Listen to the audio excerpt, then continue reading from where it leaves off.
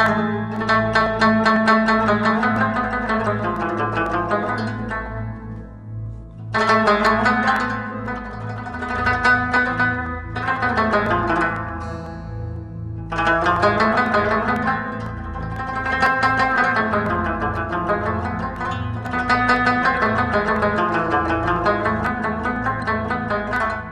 were actually looking for Turkish speaking nomads. An incredible richness, really, that entered my life from the time that, that I went to live in, in Afghanistan. It was the first sight of Afghani uh, little boys in their, you know, their, their national costume with little hats on. Partly the very interesting um, culture, material culture. I remember the mountains uh, that turned purple in the dusk. Once you go and see the people, their kindness, their hospitality, their friendliness, you can't forget them. You have to go back to Afghanistan. Nobody locked their doors in Kabul. I, it, it just wasn't like that. There was safety. Um, I had lived in India and I had lived in um, America and I had lived in England. And in all of those places, people do not tell the truth. And the Pashtuns tell the truth. I don't believe that violence is true, um, you know, is the first call of duty on any Muslim or any Christian or any human being. But above all, the people.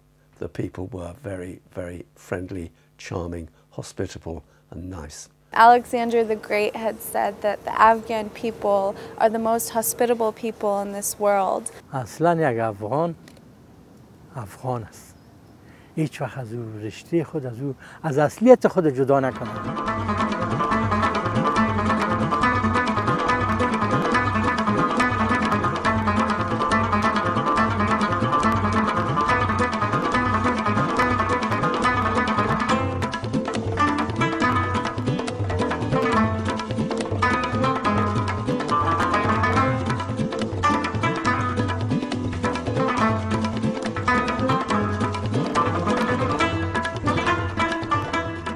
The harm that's done by the brutality of war is incalculable.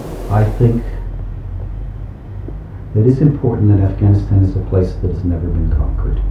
And this is a country in which a 10 year child is a warrior. It's culturally very different. It's hard for them to understand our ways and our people. رئیس میمان در مملکت ما بیاین قبولشان داریم مگر رئیسی که وصله که بگه که ما اینیمی هست مست اینیمی نمیشه People have not learnt from the history. Terrorism and um, bombings and hostile acts, it doesn't represent our people nor our country. The coup against the king and the imposition of a republican government system was the beginning to me of, of, of the breakdown of Afghan culture.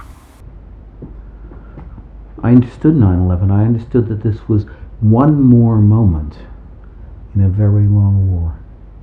Why should we go and take other people's land and expect it to be a happy situation? This bloody war is out of control of all Afghans.